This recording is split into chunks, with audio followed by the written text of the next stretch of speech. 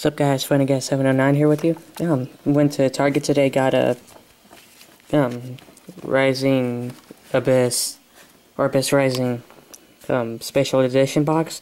Here's what I got. Marling, Moulinglacia, the Elemental Lord. Got the Dark Smog as the promo. Bubble Bringer. Um, different Dimension Deep Sea Trench. Mermail um, Abysspikes super or rare. Mermail Abyssmanders rare. I still have the other one for, or the other stuff. Abyss Warrior.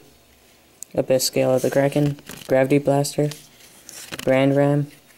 Tripod Fish. Big Magician.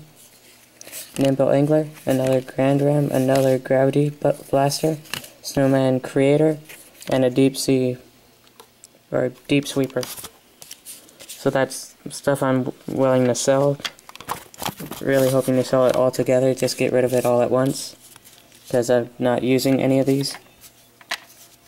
Um, but the cards I did get that I wanted to keep were Final Gesture, Heroic Gift, Battle Break, um, two Heraldic Beasts, Aberconway, Advanced Heraldic Art Rare, Madolche Ticket, Xyz Extreme, Bullblighter, Stoic Prophecy, and Snow Dragon. So that's what I'm going to keep. So everything else here, I'm hoping to sell all together. Um, the Merlin Glacial, or yeah, Glacia, I'll send, or I'll sell by itself. So yeah, thanks guys for watching. Funny guy out. Peace.